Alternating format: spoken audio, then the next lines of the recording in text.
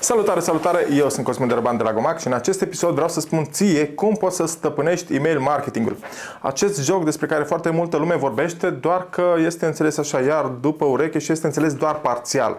De ce spun acest lucru? Pentru că foarte mulți antreprenori și oameni de marketing înțeleg că prin email marketing uh, generăm vânzări și atât. Știm că rata de conversie prin email este cea mai mare. Da, email marketingul este canalul de marketing cu cea mai mare rată de conversie pentru că, după cum știm, oamenii care și-au dat adresa de email ne cunosc, au încredere în noi și sunt într-un stadiu avansat de achiziție sau au primit un voucher și așa mai departe. E bine, email marketingul înglobează ceva mai mult de atât. Și anume, în episodul de astăzi discutăm despre creșterea baze de date cu adrese de e-mail, uh, menținerea acestei baze de date și, foarte, foarte important, la numărul 3, uh, cum să menținem o relație cu abonații noștri, cu persoanele interesate de produsele noastre sau cu cei care deja sunt clienți și au cumpărat produse de la noi.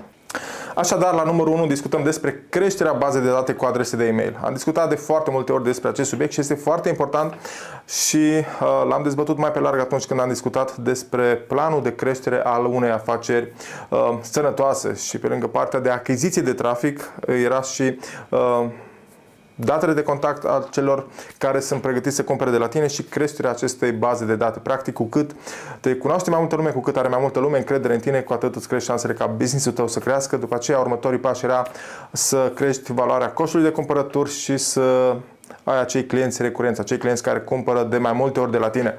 Și acum să revenim să vedem cum poți tu să-ți crești baza de date cu adrese de e-mail. Avem mai multe opțiuni începând de la partea de lansare a magazinului tău online, când am sugerat să-ți faci un landing page de teasing și să captezi datele de contact a celor interesați să descopere să afle când lansezi produsele sau când îți lansezi site-ul sau când lansezi o nouă gamă de produse, poți să folosești pop-up-urile și să încerci să segmentezi contactele să uh, înțelegi fiecare adresă de e-mail de ce tip de produse, din ce categorie vine, ce interes are, să poți comunica ulterior mai corect, mai bine cu aceștia.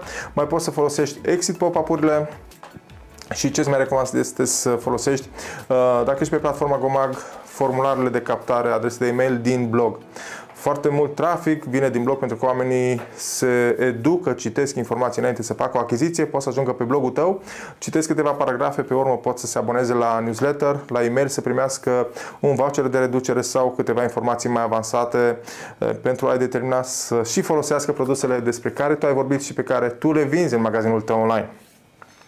La numărul 2 discutăm despre menținerea unei uh, baze de date a unei liste uh, cât mai sănătoase.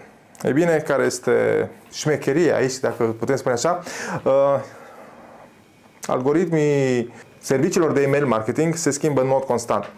Probabil și tu ești bombardat încă periodic de o mulțime de oferte comerciale și de acele email, email de tip spam. E bine, nu recomand să faci niciodată așa ceva, nu recomand să cumperi baze de date, nu recomand să trimiți spamuri, recomand să îți crești propria listă care te cunosc, care o să cumpere de la tine sau care au cumpărat de la tine și da, să comunici segmentat.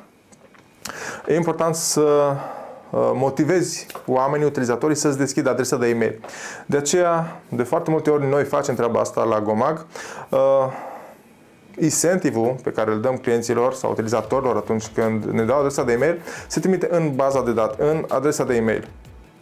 Clientul își bagă o adresă corectă, dacă își bagă o adresă greșită, nu primește materialul de la noi, de exemplu, la fel ar trebui să se întâmple și la tine. Acum, poți să grăbești procesul să oferi voucherul imediat, dacă oferi un voucher de achiziții, un voucher de cumpărături, o reducere, dacă vreți să-ți crești adresa de e-mail, un lucru pe care îl discutam la numărul 1, sau să spui, uite, urmează să primești un e-mail, în câteva minute deschide e-mailul și folosește codul pentru că este valabil de o perioadă scurtă de timp și acolo în e-mail tu poți să mai pui câteva informații, să grăbești acest proces de vânzare.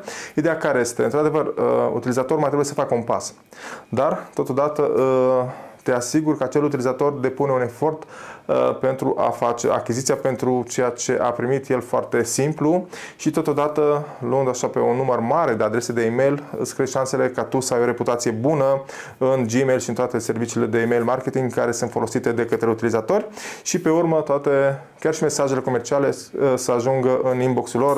Ideea este să fie deschise, să-ți crească probabilitatea de a avea cât mai multe e mail deschise și să primești click, să primești, să transformi practic aceste newslettere, aceste email marketing în vânzări.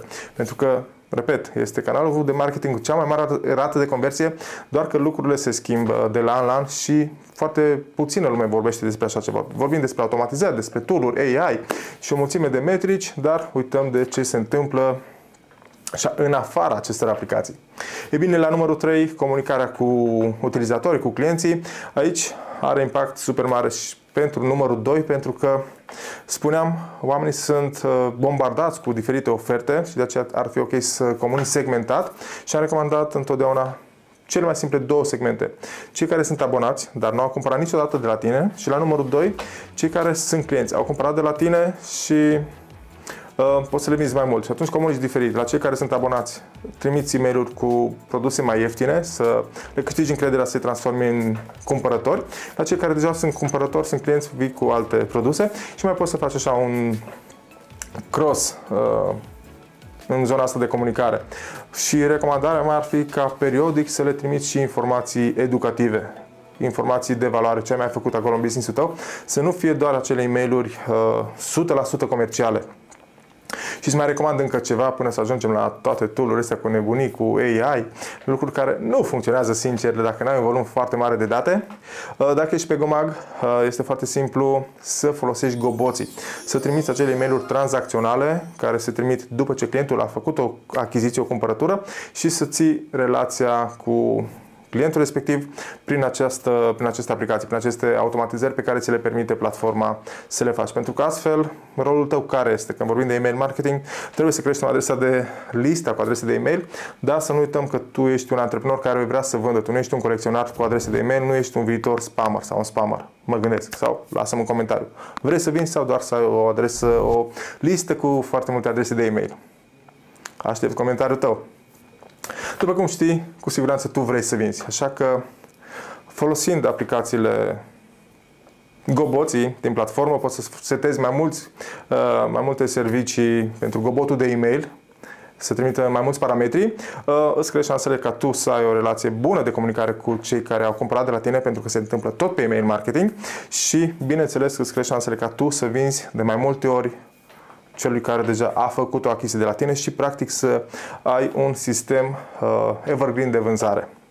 Acestea fiind spuse, poți să-mi lași un comentariu cu părerea ta despre acest material, ce alte informații te interesează legat de email marketing și de marketing în general și până data viitoare îți recomand să Mă lași un comentariu cu care sunt provocările tale, ce ai vrea să faci în continuare și neapărat să distribui acest material prietenilor și partenerilor tăi. Sunt absolut sigur că cineva o să aprecieze o astfel de informație primită gratuit. Și da, până data viitoare, neapărat trebuie să treci la acțiune, să pui în practică măcar o parte dintre aceste informații și, bineînțeles, să urmărești și alte materiale pe care noi le-am făcut împreună cu clienții, cu partenerii și cu colegii noștri, pentru că pe acest canal 100% găsești o mulțime de informații care să te ajute extrem de mult pentru afacerea ta. Așa că până data viitoare, spor la acțiune și multă, multă sănătate!